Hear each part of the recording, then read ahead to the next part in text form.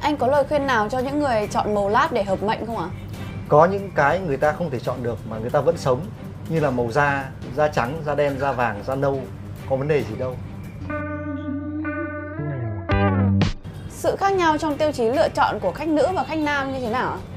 Son môi là dành cho nữ và tạ tay là dành cho nam. Anh có thể giải thích thêm được không ạ? Cuộc thi hoa hậu là dành cho nữ và F1 là dành cho đàn ông. Em có nên tắt laptop khi không sử dụng sau một ngày làm việc không ạ?